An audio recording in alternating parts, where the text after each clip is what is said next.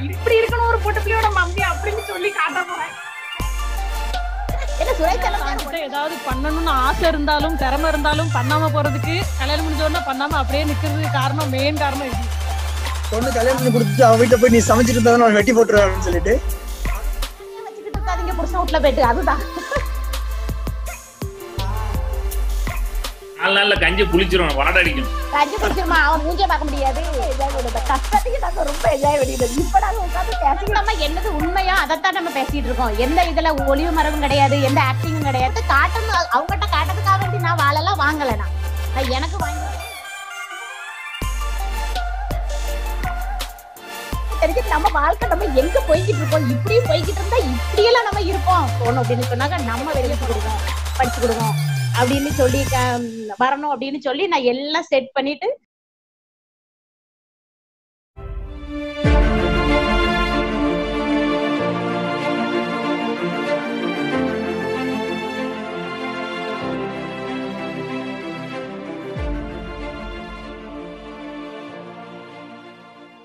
உங்க இன்டர்வியூ வந்த உடனே கம்ப்யூட்டர் ஸ்கிரீன்ல போட்டு காட்டிடணும் ஃபுல்லா அப்படின்னு வச்சிருக்கிறேன். அது ஏ அப்பா நீங்க வேற. அதுக்கப்புறம் அது பெரிய ஃபேமஸ் ஆயிரும். இந்த வீட்ல யாரும் பொண்ணு எடுக்க கூடாது. நான் நான் நான் உங்க இன்டர்வியூக்காக ஆவலா வெயிட் பண்ணிட்டு இருக்கேன் பாருங்க நீ எப்படி இருக்காங்கன்னு பாருங்க. இப்படி இருக்கணும் ஒரு பொட்டு பிள்ளையோட மம்மி அப்படின்னு சொல்லி காட்ட போறேன்.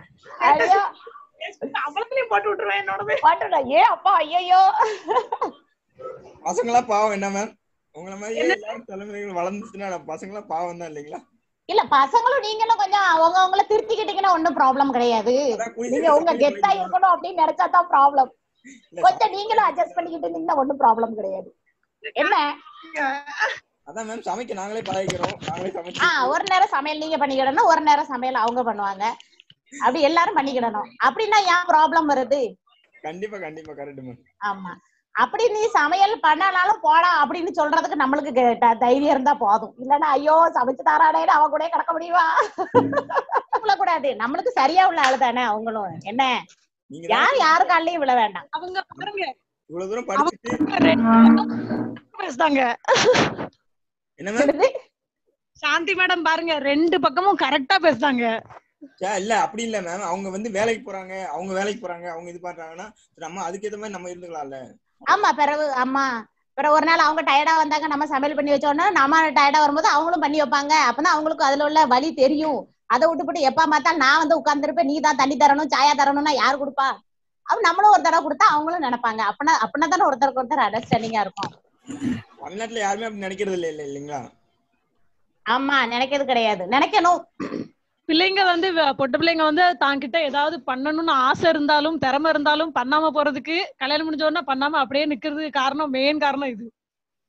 ஆமா. அவங்க அவங்க போராடி வரதுக்குள்ள ஒரு பிள்ளை பிறந்துரும். அதுக்கப்புறம் வந்து அதோட அந்த பிள்ளையோட கடந்து போராட்டத்துக்கு யார் இந்த பிள்ளை பெருசாகிற வரைக்கும் நான் அம்மா மாதிரி எங்கேயும் நவள முடியாது.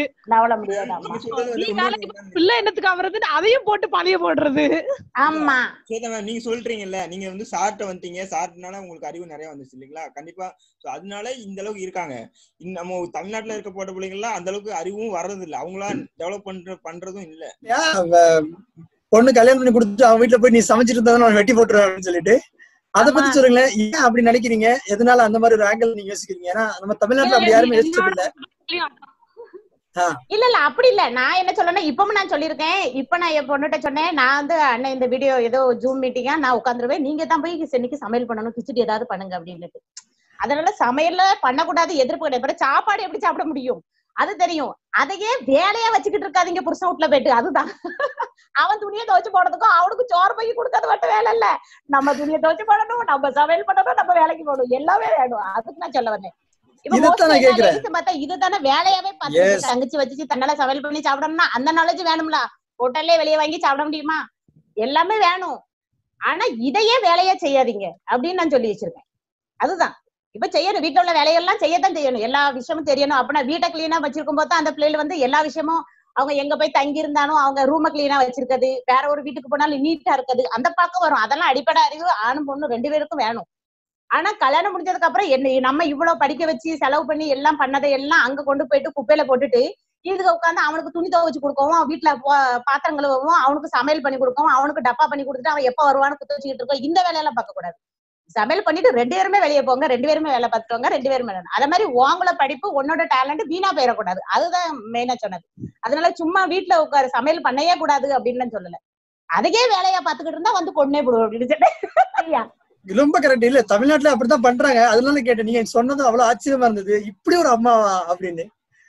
ஆமா பிறவு நான் எவ்வளவு கஷ்டப்பட்டவங்கள படிக்க வைக்க தெரியுமா? இல்லன்னா அந்த வீட்டுல பாத்திரங்களை வச்சுட்டு கொஞ்ச நாளுக்கு அப்புறம் கல்யாணம் முடிச்சு கொடுத்துருக்கலாம் நாங்க எதுக்கு அவங்களுக்கு எல்லாம் பண்ணி கொடுக்கணும் நாளைக்கு?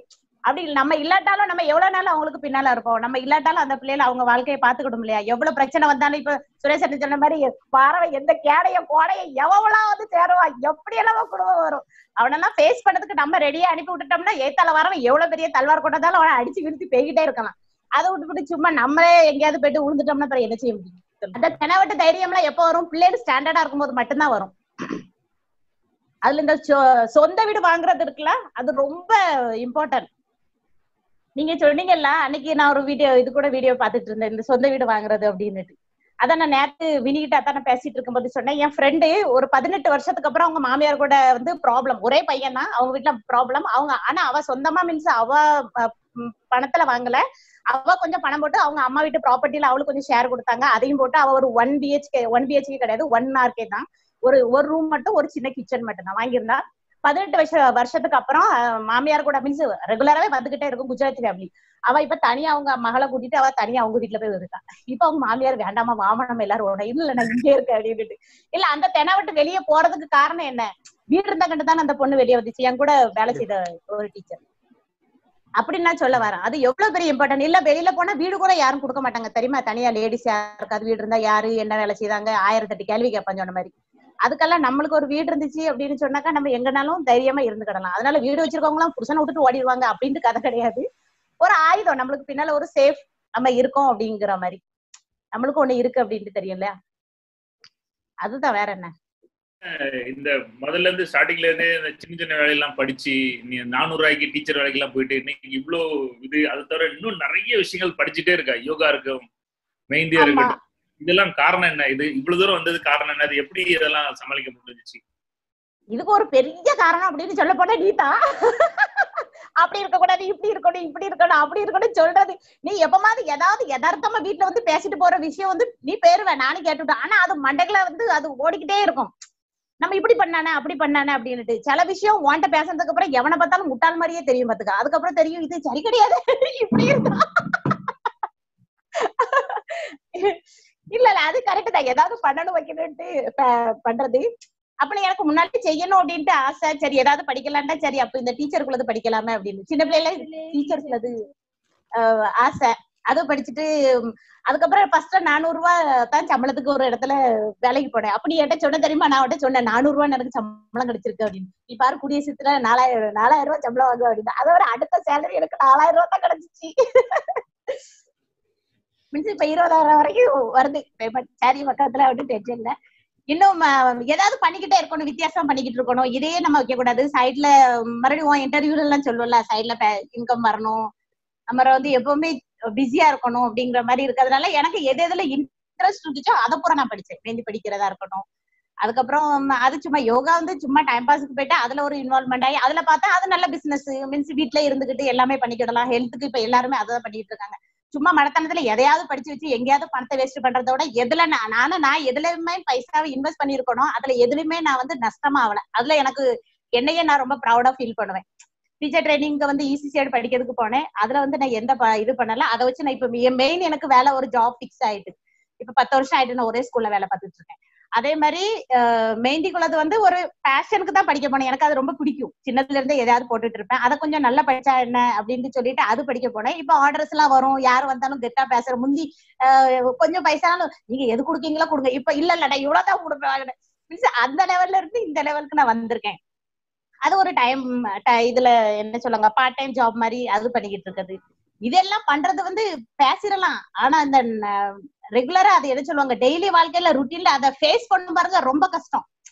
ஒரு ஆர்டர் வரும் அப்ப பார்த்தா வீட்டுல டென்ஷன் இருக்கும் வீட்டுக்காரர் ஏதாவது சொல்லிச்சிருப்பாரு அது மண்டையில ஓடிக்கிட்டு இருக்கும் அங்க போயிட்டு அதை பண்ணணும் இதை பண்ணணும் அதெல்லாம் அதையெல்லாம் ரொம்ப ஃபேஸ் பண்ணி சரி இதெல்லாம் போகுது அப்படின்னு ரொம்ப விட்டு கொடுத்து போறது கஷ்டம் தான் அத நம்மளுக்கு வந்து அதை நம்ம மெயினா கோல் என்னதோ அதை மட்டும் நம்ம மைண்ட்ல வச்சுக்கிட்டு இருந்தோம்னா ஊடையில எவ்வளவு ப்ராப்ளம் வருதோ அதெல்லாம் பெருசா தெரியாது. விட்டுட்டு போய்கிட்டே இருக்கணும். அதுக்கு நம்ம அதே பிடிச்சிட்டு இருந்தோம்னா நம்ம என்ன செய்ய அப்படின்னு. அத மாதிரி பண்ணதான் இது. யோகாவும் சரி இதுவும் சரி. யோகா கிளாஸ் இப்போ போயிட்டு இருக்கு இப்போதைக்குள்ள எல்லாமே இப்போதைக்கு எல்லாமே பந்தா இருக்கு இந்த கெலியோகிராபி எல்லாம் படிச்சு எவ்வளவு படிச்ச லிஸ்ட் ரொம்ப ஜாஸ்தி. என்னதெல்லாம்? கேலிகிராஃபி படிச்சேன் கேலிகிராபி இந்த ஹேண்ட் ரைட்டிங் இம்ப்ரூவ்மெண்ட்டுக்குள்ளது அதுக்குள்ளது கிளாஸ் அது நான் எது படிச்சாலும் உடனே அதை கிளாஸ் ஸ்டார்ட் பண்ணிடுறதுக்கா அப்ப நம்ம கிளாஸ் ஸ்டார்ட் பண்ணோம்னா நம்ம படிச்சதும் நம்மளுக்கு மறக்காது. நம்ம ஏர்ன் பண்றது மெயினா ஏர்ன் பண்ணணும் பஸ் அதுக்கு தான் நம்ம படிக்கணும். நம்மகிட்ட நேரம் நிறைய இருக்கு ப்ராப்பர்ட்டி நிறைய கிடக்கு பைசால நிறைய இருக்கு செலவழிக்க செலவழிக்க நேரத்தை செலவழிக்கிறதுக்கு தான் நம்மளுக்கு நேரம் இருக்கு. அப்படின்னு கிடையாது. நமக்கு பணமும் கிடையாது. பணமும் நம்மளுக்கு ஏர்ன் பண்ணணும் இல்லையா? அப்படின்னு சொல்ற மாதிரி கேலிகிராஃபி படிக்க போனேன். டெலிகிராஃபி படிக்க போறது நான் ஸ்கூல்ல ஜாயின் பண்ண பிறகு தெரிஞ்சிச்சு என்னோட ஹேண்ட் ரைட்டிங் நல்ல கிடையாது நல்ல இல்ல. அங்க ஏதாவது ப்ராஜெக்ட் பண்ண சொல்லுவாங்க. சின்ன பிள்ளைங்க இது தானே இசியடு ப்ரீ பிரைமரி செக்ஷன்னால எங்களுக்கு வந்து ரைட்டிங் எல்லாம் நல்லா சொல்லி கொடுக்கணும். படம் வரையணும். அதெல்லாம் நான் டிராயிங் கிளாஸும் கொஞ்ச நாள் போனேன். படம் வரையணும். அப்புறம் நான் பார்த்தா இந்த வேலையை நம்ம தக்க வச்சுக்கிட்டதுக்கு உள்ள போய் பார்த்த பிறகு தான் தெரிஞ்சிச்சு இந்த வேலைக்கு நம்மளுக்கு என்னெல்லாம் வேணுமோ அதை நம்ம ரெடி பண்ணிக்கிடுவோம். அப்ப நம்ம வந்து இங்க ஸ்ட்ராங்கா ஏன்னா ஸ்கூல் நல்ல ஸ்கூல் நல்ல ஸ்கூல் இதுல இருந்து நம்ம வெளியே வந்துடக்கூடாது அப்படின்னுட்டு இந்த ஸ்கூல்ல நம்ம ஸ்டாண்ட் பண்ணணும் அப்படின்னு சொன்னா என்னெல்லாம் தேவைப்படும் அப்படின்னு நான் யோசனை பண்ணேன். அங்க பார்க்கும்போது தான் ஒவ்வொரு டீச்சரும் ஒவ்வொன்றுகிட்ட என்னதெல்லாம் வீக்கா இருக்கு என்னது எதுக்கு அங்க இம்பார்ட்டன்ஸ் கொடுக்காங்க எது தேவைப்படும் அப்படின்னு யோசனை பண்ணேன். அங்க பார்க்கும்போது தான் ஹேண்ட் ரைட்டிங் ரொம்ப கேலிகிராஃபி ஏன்னா அங்க வந்து ப்ராஜெக்ட் அது இது டிஸ்பிளே இதெல்லாம் பண்ணுவாங்க அடிக்கடி. அப்பவும் பெரிய பெரிய என்ன சொல்லுவாங்க சார்ட் பேப்பர்லாம் எழுதணும். எழுத வேண்டியது இருக்கும். அந்த ரைட்டிங்லாம் கேலிகிராஃபி பெண் வச்சு தான் எழுதணும். ஹெட்டிங் எழுத வேண்டியது இருக்கும். அப்படி நிறைய விஷயம் பண்ணணும். இதுக்கெல்லாம் வந்து அங்க டீச்சர் மாதிரி கிடையாது. ஒரே ஒரு டீச்சர் தான் அவளும் ரொம்ப பாவம் பண்ணுவான். அவட்ட கேட்டா அவன் என்கிட்ட சொல்ல மாட்டான்ட்டான். அப்புறம் என்னோட இன்னொரு ஒரு ஃப்ரெண்டு க்ளோஸ் ஃப்ரெண்டு அவட்ட கேட்டேன் இது படிக்கணும்னா நான் என்ன செய்யணும்? எப்படி பண்ண? அவ எனக்கு தேடி அதுக்கப்புறம் என்ன கூட்டிட்டு போயிட்டு அவளை நானும் ஜாயின் பண்ணி அதுக்கப்புறம் நாங்க படிச்சோம். அது வந்து எனக்கு இப்பவும் ஸ்கூல்ல ஏதாவது ஒர்க் ஷீட் பண்ணா ஏதாவது ப்ராப்ளம் இருந்துச்சுன்னா சொல்லுவாங்க சாந்தி கிட்ட கொடுங்க அவட்ட கொடுங்க அப்படின்னுட்டு. அது நம்மளுக்கு ஒரு பிளஸ் பாயிண்ட் அது வந்து நான் வந்து ஏன்னா வேலையை தக்க வைக்கிறதுக்கு தான் படிக்க போனேன். ஆனா அது வந்து எனக்கு ஸ்கூல்ல ஜாப் வந்து பிக்ஸ் ஆவதுக்கு அதுவும் ஒரு காரணமாயிட்டு. அப்புறம் கொஞ்சம் டிராயிங் படிச்சுக்கிட்டேன். எனக்கு கார்ட்டூன்ஸ் எல்லாம் டக்குன்னு சின்ன பிள்ளைங்களுக்கு படிச்சு கொடுக்கறதுக்கு வரையணும் இல்லையா? போர்டெல்லாம் திடீர்னு போ இதை வச்சு வரைஞ்சு காட்டணும். அந்த நாலேஜ் கூட யாருக்கிட்டையும் கிடையாது. இருபது வருஷமா வேலை பார்க்க டீச்சர் இப்பவும் ஒரு ஆப்பிள் வரைய சொன்னா ஆரஞ்சு வரைஞ்சு வைப்பா. அப்படி டீச்சர் இருக்கதான் செய்யறாங்க அந்த இடத்துல நம்ம வந்து கொஞ்சம் நம்மளுக்கு அது ஒரு பிளஸ் பாயிண்ட் ஆயிரும்ல. அப்படின்னு அந்த ஜாபுக்காக வேண்டி நான் இந்த விஷயம்லாம் படிச்சேன். அதுக்கப்புறம் தான் அது ஒரு பிசினஸ் இது மாதிரி. உங்களுக்கு அங்கேயே அந்த இந்த இன்ஸ்டியூட்ல சொன்னாங்க நீங்களே கிளாஸ் எடுக்கணும்னா நாங்க எங்க தரப்புல எல்லாமே இந்த பிரெஞ்சாய்ஸ் எடுத்து பண்ணதாங்கல்ல அப்படி பண்ணுங்க அப்படின்னு. அதுல பண்ணதை நான் ஒரு ஃபைவ் தௌசண்ட் தான் கொடுத்து படிச்சேன். நான் அதுல ஒரு டுவெண்ட்டி ஃபைவ் தௌசண்ட் ஏர்ன் பண்ணிருப்பேன். அதுக்கப்புறம் அப்படியே கொஞ்சம் அதுக்கப்புறம் அதை எனக்குன்னே வச்சுக்கிட்டேன். இப்ப நான் பாத்துக்கிட்டு இருக்கேன். இப்ப புது வீடு ஷிஃப்ட் ஆச்சுன்னா எல்லாமே செட்டிங் பண்ணணும் அப்படின்னுட்டு. கிளாஸ் அது இது எல்லாமே டைம் ஏன்னா எல்லாமே நான் படிச்சு வச்சிருங்க கொஞ்சம் கொஞ்சம் நாலேஜ் இருக்கு. அதை வச்சு நம்ம ஏர்ன் பண்ணிக்கிட்டு இருக்கலாம் அப்படின்னு.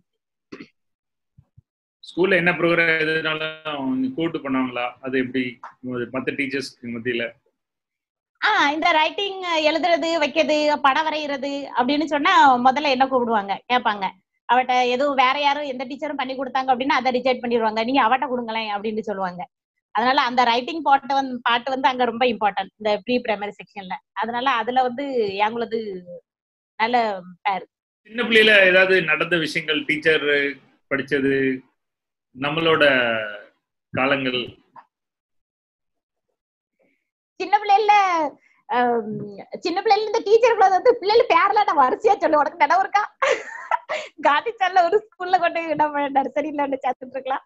அப்போ வந்து அப்பா சொல்ல தெரியும் நர்சரி ஸ்கூல் போயிட்டு வந்துட்டு அந்த ஸ்கூல்ல டீச்சர் வந்து அட்டெண்டன்ஸ் எடுப்பாங்க தெரியுமா? அவங்க வந்து ரிஜிஸ்டரை பார்த்து பேர் சொல்லுவாங்க. ஆனா நீ நான் வந்து நர்சரி படிக்கும் போது வீட்டுக்கு வந்த உடனே அவ்வளவு பிள்ளைகள் பேரையும் பயஹாடா சொல்லுவேனா எங்க அப்பா வயாவ அத சொல்லுவா அத சொல்லுவா அப்படிங்கும். ஸ்கேல வச்சு அட்டண்டன்ஸ் அட்டெண்டன்ஸ் எடுக்கிறவங்க வரி. அவ்வளவு பேர் பேரை எனக்கு எனக்கு அந்த ஸ்கூல்ல நான் முதல் தடவை போயிட்டு ஸ்கூல்ல பிள்ளைகளுக்கு டீச்சர்னு கூட்டோட எனக்கு என்ன சந்தோஷம். சரி நம்ம ஏதோ ஏன்னா அது வந்து ரொம்ப பல நாள் கனவு எனக்கு அப்படி இருந்துச்சு. நம்ம பண்ணோமா அப்படின்னுட்டு.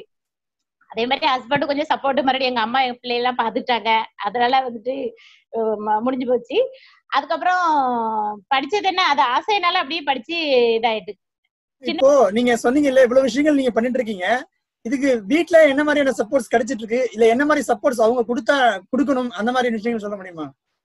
இல்ல ஹஸ்பண்ட் வந்து என்கரேஜ் பண்ண மாட்டாரு டிஸ்கரேஜ் பண்ண மாட்டாரு. அப்படி செய்யி இப்படி செய்யி நீ அப்படி வந்துரு இப்படி வந்துடலாம் ஒண்ணு என்கரேஜ் பண்ண மாட்டாரு. நீ அப்படி செய்யாத இப்படி செய்யாதன்னு ஒண்ணும் சொல்ல மாட்டாரு. நீ என்ன செய்வியோ செய்யி. அவங்க வீட்டு விஷயத்துல எந்த ப்ராப்ளமும் வரக்கூடாது. பிள்ளைங்க படிப்புல எந்த ப்ராப்ளமும் வரக்கூடாது. வீட்டுல வந்தா சாப்பாடு ரெடியா இருக்கணும் வீடு கிளீனா இருக்கணும். வீட்டுல உள்ள என்ன சொல்லுவாங்க வீடு குடும்பத்துக்குன்னு ஒரு மான மரியாதை இருக்குமே அதெல்லாம் எல்லாத்தையும் பாத்துக்கிட்டு நீ பண்றதா இருந்தா பண்ணு. அப்படி இல்ல அப்படின்னு சொன்னா உன் பாட்டுல வீட்டுல இரு அப்படின்னு சொல்லுவாங்க.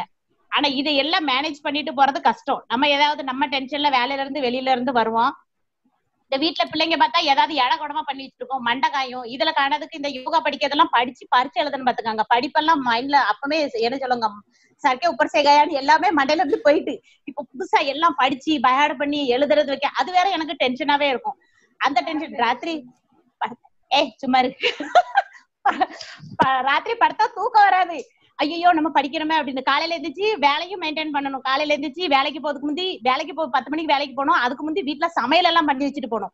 சமையல் பண்ணிட்டு வச்சுட்டு பிள்ளைங்களை எல்லாம் பார்த்து வச்சுட்டு போயிட்டு அதுக்கப்புறம் எக்ஸ்ட்ராவா எக்ஸ்ட்ராவா நான் என்ன படிக்கணும்? அதுக்குள்ள படிப்பையும் படிக்கணும். நான் புக்கை ஸ்கூலுக்கு கொண்டுட்டு போவேன். அங்க ஃப்ரீயா இருக்க நேரத்துல உட்காந்து திறந்து பேக்குக்குள்ள வச்சு பாத்துக்கிட்டே இருப்பேன். ஏன்னா ஸ்கூல்ல இந்த எக்ஸ்ட்ரா டைம்லாம் நம்மளுக்கு ஒண்ணும் கொடுக்க மாட்டாங்க.